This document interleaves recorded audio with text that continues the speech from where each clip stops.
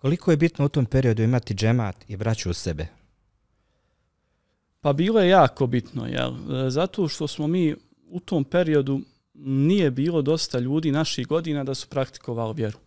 Znaš, i onda si ti nekako upadao ljudima u oči, pogotovo mi koji smo bili malo eto i čarsi, čarsijska raja, ovaj, bilo je dosta predrasuda, znaš. Uh, E, međutim, jel, bilo je tu i par starijih braći koji su nas zaista pris, prisno primjeli, koji nisu, jel, uvijek nam odgovarali na te neke naše pozive, na neka naša pitanja, možda smo bili i dosadni, ali eto, zaista nam je to pomoglo u tom periodu.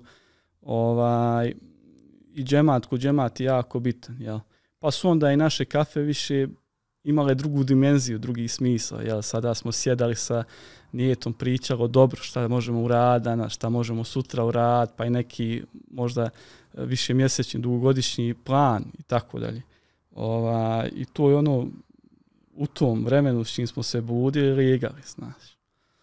On, alhamdulillah. Ja spomenuo bi ja tu dvojicu braći koji su baš bila starija, e, to je Alen Ređović i Jasmin Omazić. Ja.